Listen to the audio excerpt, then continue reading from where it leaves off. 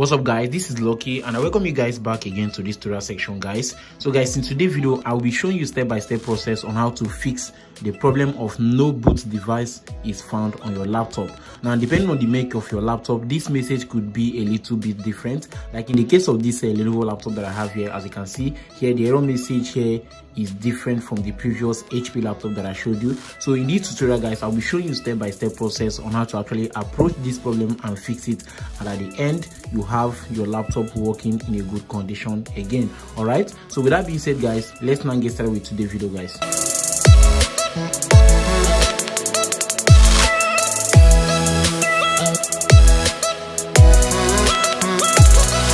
right guys so this problem could be a software or a hardware problem right? So but we're going to be approaching it step by step. So the very first thing we're going to do is to enter the bios section and check if the boot priority is set to boot from the hard disk drive first all right so if the boot priority is not set to boot from the hard disk drive it could be one of the reasons that will cause that uh, problem of no boot device found. All right first thing i'm going to do here is to power on the laptop and use f10 key to enter the bios section of this laptop.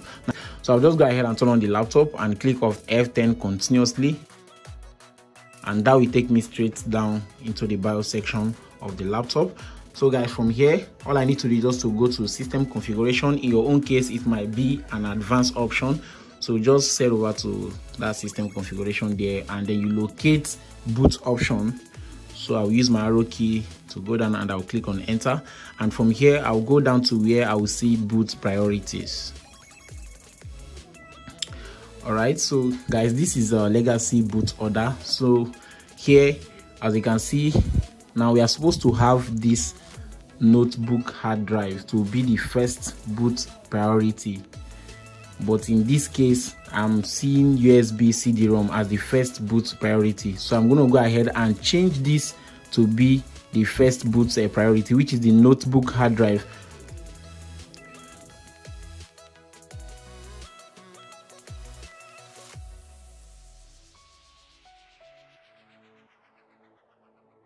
And then after that and then i'll hit on enter to accept.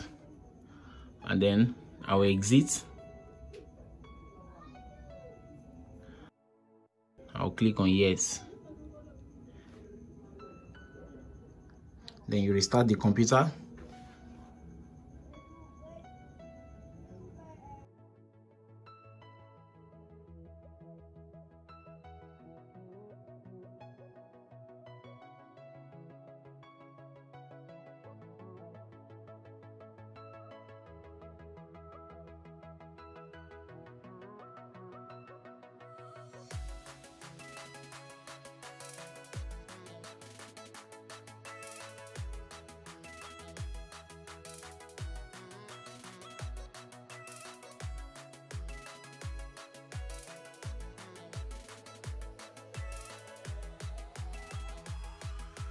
All right so that is it for the first method. So if this method didn't work for you then you should proceed to the second step.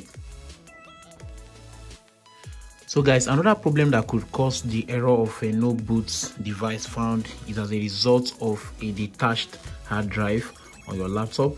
So in this case i'm to go ahead and locate where the hard drive of this laptop is mounted. In my own case here this is where the hard drive is mounted. So you can just upload this and as you can see here all i need to do is just to uh, ensure that my hard drive is properly uh, fixed to the connector. So if it's not properly fixed sometimes because of vibration this could just um, uh, shift from its initial position from its uh, normal position where it's supposed to be. So all you need to do is just to reattach the hard disk drive just reattach and make sure that it's firm. All right so and then you go ahead and couple back the laptop and then boot up the device again.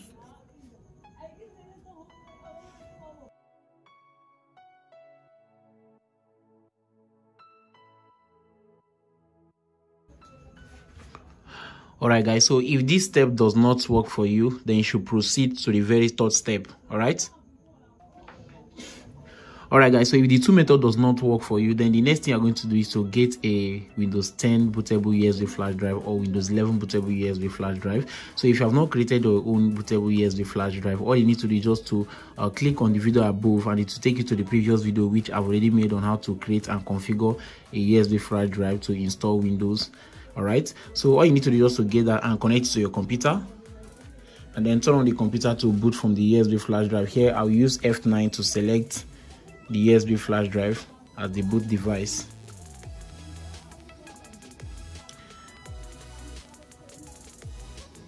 I'll hit on enter.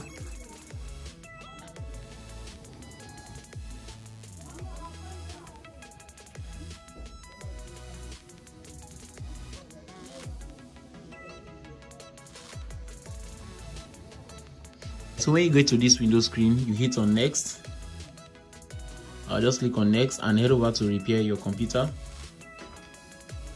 From here i'll select troubleshoot and then i'll click on command prompt.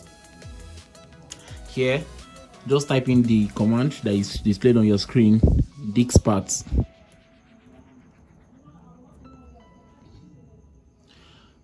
list volume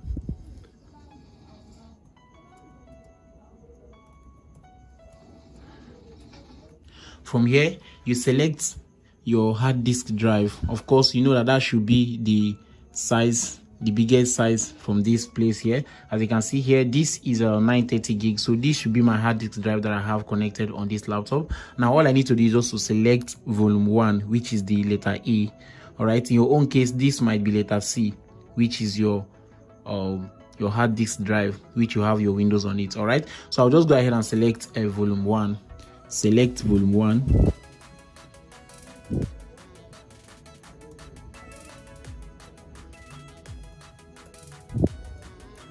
and then I'll hit on enter. All right so you should get a message volume 1 is the selected volume. Now what we're going to do here is to enter active. And hit on enter. And from here I'll type assign then hit on enter. And then you should get a message. DiskPart successfully assigned the drive letter or mount point.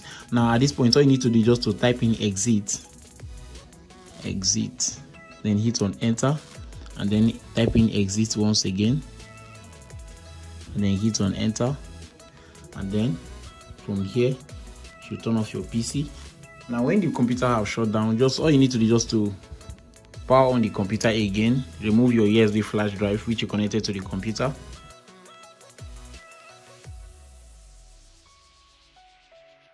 Alright guys, with these three steps that I just showed in this video, I believe that the problem of your system, the problem of boot device not found on your laptop should be sorted out.